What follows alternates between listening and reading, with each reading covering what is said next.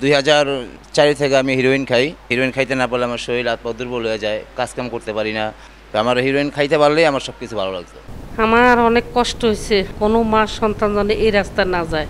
মনে হয় যেন পৃথিবীতে আমার পায়ের নিচে মাটি নেই। এখানে রুগী যখন প্রথম অবস্থা আসে তখন খুবই ক্রিটিক্যাল অবস্থা থাকে। ডাক্তার যেভাবে প্রেসক্রিপশন করে আমি সেগুলো দেখে রুগীর দেখাশোনা করি এবং মেডিসিন দিই।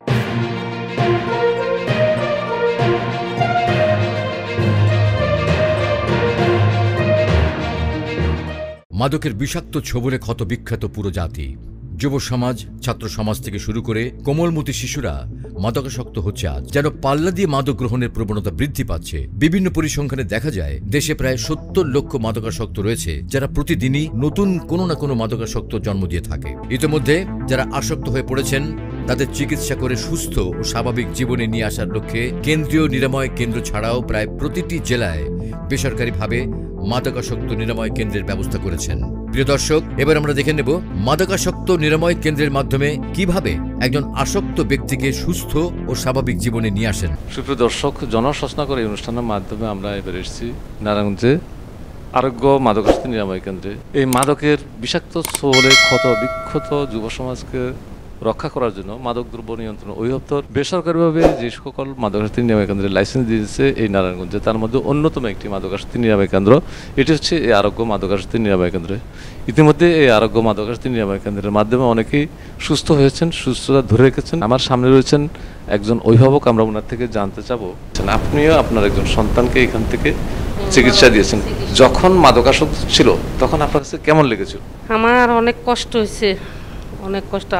কোনো মার সন্তান যেন এই রাস্তা না যায়। সন্তান একবারে ধ্বংস হয়ে যাইতেছে। মনে হয় যেন পৃথিবীতে আমার পায়ের নিচে মাটি নেই। এত কষ্ট হয়েছে।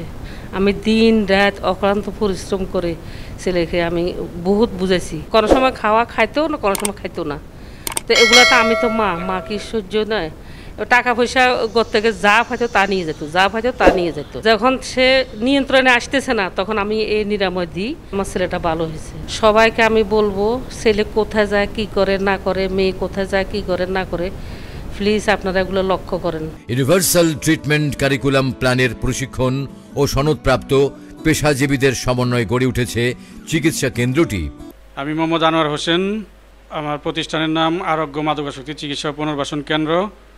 আমি দীর্ঘ সাত বছর যাবত এখানে চেয়ারম্যান হিসাবে আছি এবং সুনামের সহিত আমি এই প্রতিষ্ঠানটা চালিয়ে যাচ্ছি। প্রতিষ্ঠানে উৎসাহিত হওয়ার কারণ বন্ধু বান্ধবদেরও দেখছি ওরা কীভাবে ধ্বংস হয়েছে, যারা বিপদগামী আছে ওদের আমি যেন হেল্প করতে পারি, পথে আনতে পারি। এখানে পেশেন্টের কাউন্সিলিং করার জন্য আমি আছি, আমি নিজে কাউন্সিলিং করি এবং আমাদের আরও দুজন কাউন্সিলর আছে। আমি নিজেও ট্রেনিং করছি মাদক দ্রব্য নিয়ন্ত্রণ অধিদপ্তর থেকে। আমাদের যে ডাক্তার আছে সাইকিয়াট্রিস্ট উনি হচ্ছে ডাক্তার রাহিনুল স্যার। আবাসিক ডাক্তার আছে, উনি আবু হাসান রুবেল। এবং খণ্ডকালীন ডাক্তার আছে, আবু হাসান রিয়েল, আমাদের নার্স আছে, ভিতরে ওয়ার্ড বয় আছে, প্লাস আমাদের পাঁচ অক্ট নামাজ পড়ানোর জন্য ভিতরে হাফেজ আছে, উপরে মাদ্রাস আছে, ওখান থেকে পাঁচ অক্ট এসে নামাজ পড়ে রয়েছে, হুজুর আছে। সব দিক থেকে আমরা সার্বিকভাবে চেষ্টা করি আর কি একটা ছেলেকে সুস্থ করে তোলার জন্য। অভিজ্ঞ, মনোরোগ বিশেষজ্ঞ ডাক্তার সার্বক্ষণিক মেডিসিন বিশেষজ্ঞ ডাক্তার ও সাইকোলজিস্টের তত্ত্বাবধানে চিকিৎসা দেওয়া হয়। আমি ডাক্তার মোহাম্মদ আবুল হাসনাত। আমি এমবিবিএস, বিসিএস, স্বাস্থ্য এবং নাকানগলা বিভাগে কোর্সে আছি বর্তমানে পিজি হাসপাতালে। আমি দুই হাজার উনিশ সাল থেকেই এখানে আসতেছি এবং আবাসিক ডক্টর হিসেবে আমি আছি। এখানের যে বর্তমান পেশেন্টগুলো আছে, প্রাথমিক যে চেক আপগুলো এবং তাদের প্রাথমিক চিকিৎসাটা মূলত আমি করে থাকি। আমাদের মূল মটাই হচ্ছে বা মূল উদ্দেশ্যই হচ্ছে যে তাদেরকে সেই যে, যেই নেশাটা বা যে যার মাধ্যমে তার ক্ষতি হচ্ছে, সেখান থেকে তাকে দূরে রাখা এবং পরবর্তী পর্যায়ে এই দূরে রাখতে গিয়ে শুরুর দিকে যে রকম লক্ষণগুলো তার হয়, সেগুলো চিকিৎসা করাটাই হচ্ছে প্রাথমিকভাবে আমাদের কাজ। যে কোনো মানসিক বা অন্যান্য শারীরিক যে প্রাথমিক যে চিকিৎসাটা সেটা আমরা দেওয়ার পরে যদি এটা মনে হয় যে না, এটা একটু বিশেষজ্ঞ চিকিৎসক তার কনসালটেন্টি প্রয়োজন কনসালটেন্সি প্রয়োজন, সেক্ষেত্রে আমরা আমাদের যে বিশেষজ্ঞ মানসিক চিকিৎসক আছেন ডক্টর রাহিনুল ইসলাম, তার কাছে আমরা রেফার করি। আসসালামু আলাইকুম, আমি নুসরাত জাহান শিমু, আরোগ্য মাদকাশক্তি নিরাময় কেন্দ্রের, আমি এখানে প্রথম থেকে আসি আমি ডাক্তার অ্যাসিস্ট্যান্ট হিসেবে কাজ করছি। এখানে রুগী যখন প্রথম অবস্থা আসে, তখন খুবই ক্রিটিক্যাল অবস্থা থাকে। ডাক্তার যেভাবে প্রেসক্রিপশন করে, আমি সেগুলো দেখে রুগীর দেখাশোনা করি এবং মেডিসিন দিই। উন্নত মানের চিকিৎসার সুবিধার্থে রয়েছে শারীরিক পরীক্ষার পাশাপাশি ডিটক্সিফিকেশন ও মেডিকেশন শিক্ষামূলক ক্লাস সেশন মিটিং ধর্মীয় চর্চা, উন্নত প্রযুক্তির শারীরিক ব্যায়াম, খেলাধুলা ও বিনোদনের ব্যবস্থা, ব্যক্তিগত কাউন্সেলিং ও পারিবারিক কাউন্সেলিং চিকিৎসা পরবর্তীতে ফলো আপ সেবাসমূহ ও নিয়মিত পর্যবেক্ষণ। সুপ্রিয় দর্শক, মাদকের বিষাক্ত ছোবল থেকে যুব সমাজকে রক্ষা করার জন্য মাদকদ্রব্য নিয়ন্ত্রণ অধিদপ্তর, কেন্দ্রীয় মাদকাসক্তি নিরাময় কেন্দ্র ছাড়াও বেসরকারিভাবে মাদকাসক্তি নিরাময় কেন্দ্রের লাইসেন্স দিয়েছেন। এই বেসরকারি মাদকাসক্তি নিরাময় কেন্দ্রের মাধ্যমে অনেকেই সুস্থ হয়েছেন এবং সুস্থতা ধরে রেখেছেন। এই সুস্থ যারা রয়েছেন রিকভারি হিসাবে আমরা ওনার থেকে জানতে চাবো আপনি একজন রিকভারি হিসেবে বলেন, যখন আপনি মাদক গ্রহণ করেছিলেন, কী ধরনের মাদক গ্রহণ করেছিলেন এবং আপনার শারীরিক মানুষের উপরে কী ধরনের প্রভাব পড়েছিল? আমি দুই হাজার চারি থেকে আমি হিরোইন খাই। হিরোইন খাইতে না পারলে আমার শরীর হাত দুর্বল হয়ে যায়, কাজকাম করতে পারি না, কোনো কিছু আমার ভালো লাগতো না। তো আমার হিরোইন খাইতে পারলেই আমার সব কিছু ভালো লাগতো। মানসিক অবস্থা খুব করুণ ছিল। আমি একদম শেষ বললেই চলে।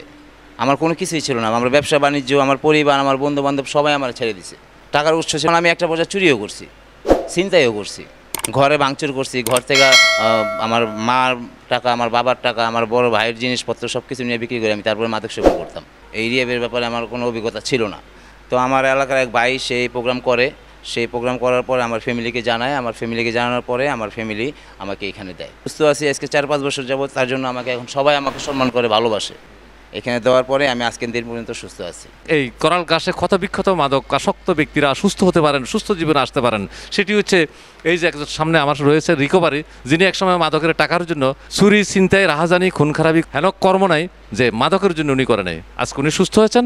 আমরা আশা করি আপনার সুস্থ থাকবেন। আপনার আশেপাশে যদি কোনো মাদকাসক্ত ব্যক্তি থেকে থাকে, তাদেরকে অবশ্যই সুস্থ করার নৈতিক দায়িত্ব আপনার, আমার সকলের। প্রিয় দর্শক, আজকের মতো এখানে শেষ করছি। দেখা হবে আগামী পর্বে। ততক্ষণ আমাদের সাথেই থাকুন।